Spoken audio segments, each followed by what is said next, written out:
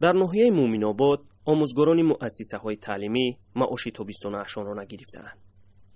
قرض مزدی کاری آنها اکنون از یک میلیون سومانی گذشته است. برای حل این مشکل ناحیه به وزارت مالیه مراجعت کرده اما تا حال به نتیجه نرسیده است. دو مراتبه خودم شخصا رفتم. دو مراتبه نزدی وزیر محترم وزیر مالیه رفتم. دو مراتبه مکتوب خطی.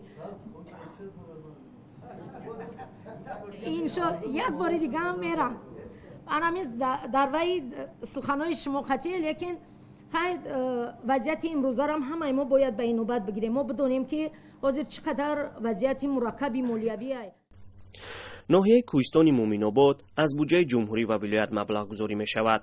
مبلغی که وارد نشده است برابر به قرض معاش آموزگاران است. اما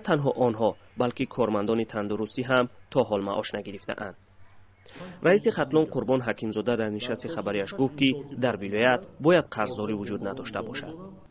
Бояд қарз набошад бояд бошад дар назди вазорати молия шумо ҳимоя кунедтон рафта шумо раҳимов дигар ташкилотҳои буҷавӣ ҳам тандурустӣ ҳам вай аммо қарзи маоши омӯзгорон аз соли 2020 мондааст тоҷиддин мирзобаротов сардори раёсати молияи муъминобод мегӯяд ки бо ин вуҷуд си дарсад музди давраи рухсатӣ дар ноҳия пардохт шудааст ноҳияи муъминобод баландкоҳ буда бештари кормандони давлатӣ рӯзгорашонро бо маош мегузаронанд яке аз омӯзгорони ин ноҳия гуфт ки хуб ки дар хона чорво доранд ва аз ин ҳисоб зиндагиро пеш мебаранд ҳамун понздаҳ рӯзи кориро додам سوقاتی نگذاشته دکتر بخوامی پنج و شش روز میشه موی همه ای یوزدهم و دوازدهم یون برو مدین همو داد بزرگ کردن حرفار کنه.